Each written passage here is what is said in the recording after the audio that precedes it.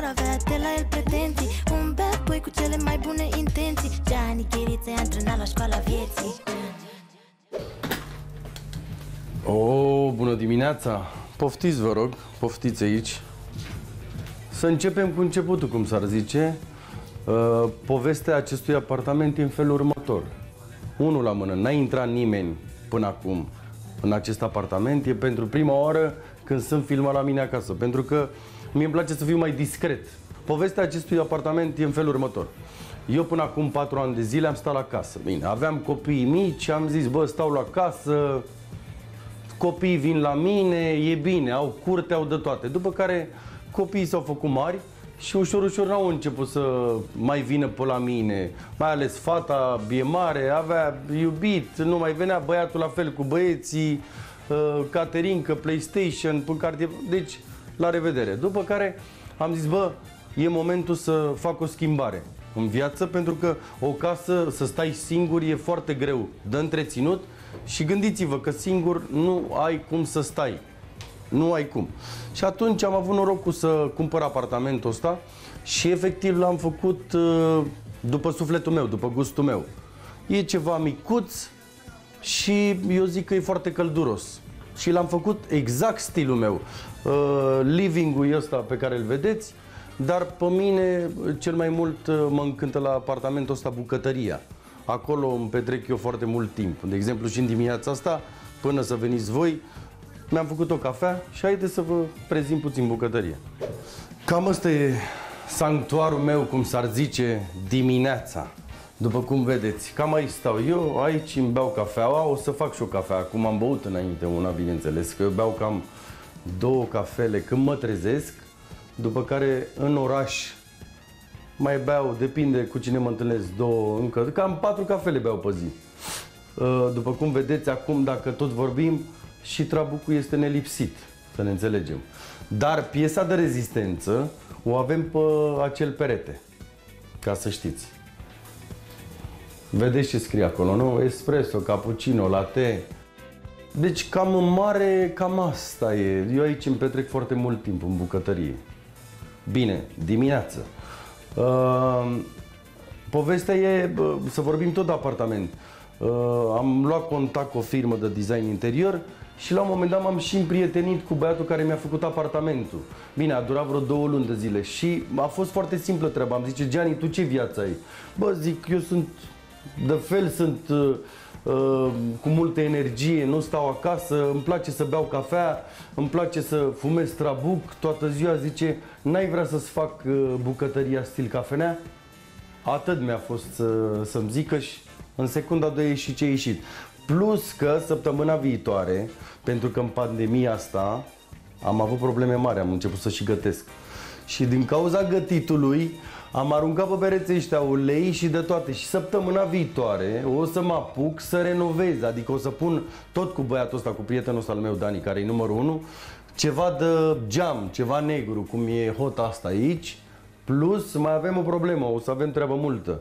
Vreau să scot și cada, pentru că n-am făcut cadă niciodată și consider că la vârsta asta nu mai sunt bebelu să mai mă bag în cadă.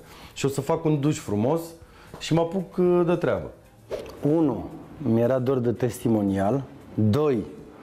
Uh, în casa asta chiar am investit uh, suflet. Bine, alături de prietenul meu Dani și vreau să-i mulțumesc că, că m-a ajutat. Uh, țin foarte mult uh, la apartamentul ăsta pentru că este în primul rând făcut uh, după cum sunt eu. Așa cum v-am prezentat-o și vouă, e exact casa pe care mi-o doream. Ca și povești așa, asta e bucătăria mea, stil cafenea, mă simt foarte bine aici. Dacă vreți, vă spun și povestea trabucului, pentru că asta e foarte importantă, că toată lumea mă vede, domne, fumez trabuc, fumez trabuc, da.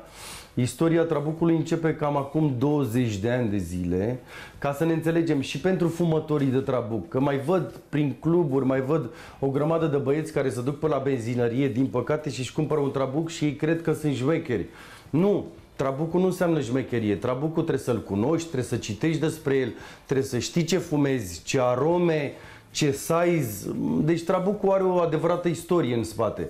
Și eu m-am apucat de trabuc, am povestit-o în presă, acum o povestesc și la voi pentru că așa e frumos. Uh, acum 20 de ani, țin minte că luasem uh, titlul și cupa României cu Dinamo și l-am văzut pe Mister fumând așa, Mister fiind Cornel Dinu, fumând așa. Eram la Săftica. Aveam două antrenamente și l-am văzut că vine cu fumola și mi-a plăcut tare mult cu miroase. Atunci am luat masorul, i-am zis vină cu repede, l-am pus să stea paznic la ușa lui, am intrat în camera lui și am furat două trabucuri.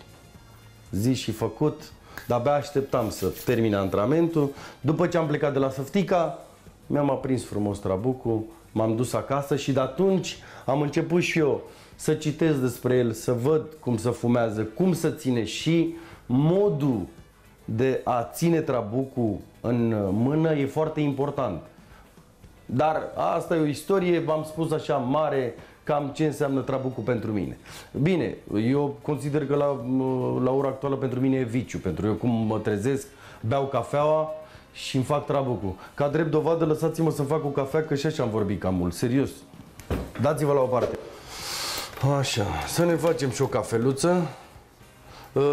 Ăsta l-am primit cadou de la cineva și când stau aici, copiii mei se uită la mine și eu la ei în fiecare dimineață. Da?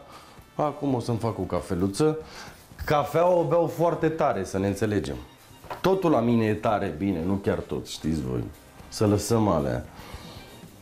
Oricum, și pentru mine, sincer, e nou ceea ce fac acum, provocarea asta, am stat și am gândit-o, zic, băi, să fac uh, reality, să nu fac reality, dar zic, hai că oricum lumea mă cunoaște de atâția ani de zile de când uh, stau în televiziune, e momentul să vadă exact cum e Gianni în viața de zi cu zi. Adică acum chiar o să vadă tot ce fac, cum fac uh, și să vă, să vă mai zic și altceva. Eu am prins în televiziune prin modul meu de a fi, prin naturalețea mea. Asta e cel mai important și cred că asta ar trebui să facă mulți. Eu nu sunt cu fake-uri, cu făcături, cu prostii de-astea. Eu, așa cum mă vedeți, așa sunt.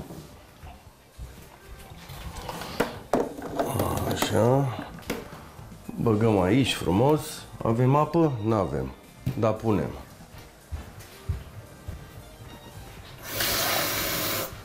Și încă ceva, eu fără cafea nu pot să mă trezesc, frate. Nu pot, dacă nu pot, primul lucru pe care îl fac Mă duc la baie, mă spăl pe dinți, mă spăl pe față și am venit și mi-am făcut cafeaua. Nu pot, nu merge. Și sor mai la fel. Sor mai la fel, sor mai mai rău, zice, până ajung la cafea, îmi tremură mâna. Dacă sunteți convins, după aia vă fac și vouă cafea. Dar mă mai gândesc.